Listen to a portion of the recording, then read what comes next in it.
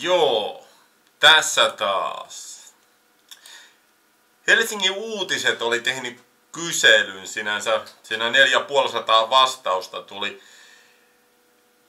Helsingissä on no-go zoneja iltaisin sinänsä, että ne ei päästä lastaan tiettyihin paikkoihin Helsingissä, että ne pelkää huumeporikoita, ryöstöjä, väkivaltaa ja maahanmuuttajia. Eli rautatieasema, Kurvi Itäkeskus, nämä on kuulemma sellaiset paikat, jotka nous esiin ainakin sinänsä, Sörnäisten metroasema, Piritorista ynnä muita, että joo, että juna- ja metroasemat ylipäätään on vähän ikäviä, samoin kauppakeskukset ja muut tietyt puistot kai sinänsä. Eli Kaisaniemen puisto oli kai puistosta turvattomia ainakin mielikuvien perusteella. Tiedä häntä, onko jotkut tilastot tukemassa sitä sinänsä. Eli tämä on aika ikävää, koska joidenkin kommentteiden mukaan niin aamusta iltaa yhä enemmän ja enemmän päihteiden, alkoholia, huumeita ja muita vaikutuksia alla olevia ihmisiä, jotka ottaa lapsiin kontaktia sinänsä, että tämä nyt luo vähän ongelmia sinänsä, että mitä tulee tapahtumaan.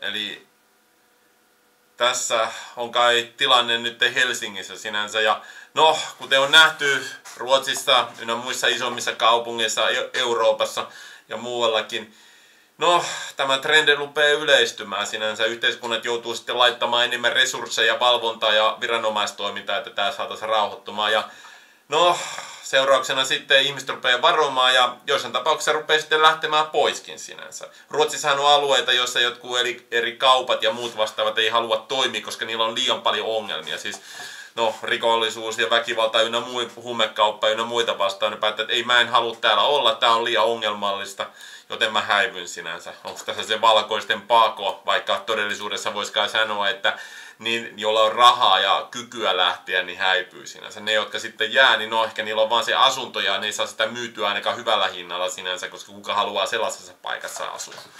Eli tämä sitten luo melkoisen kasa ongelmia vastaavassa.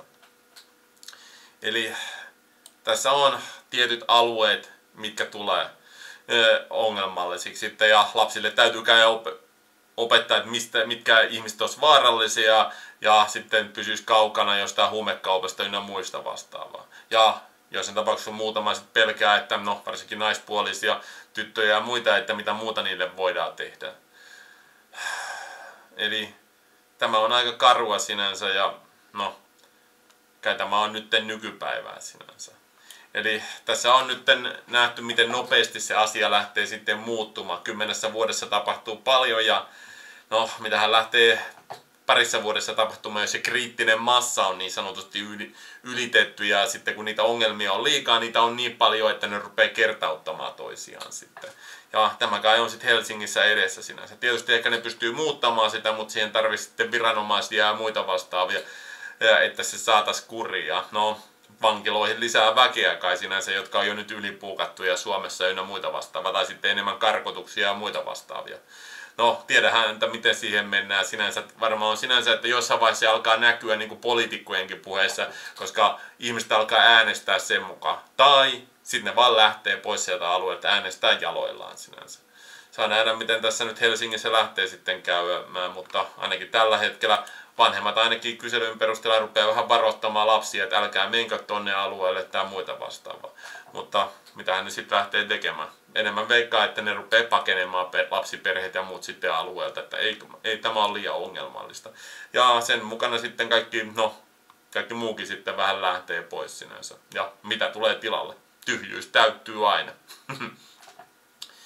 Tässä ja kaikki. Jatko.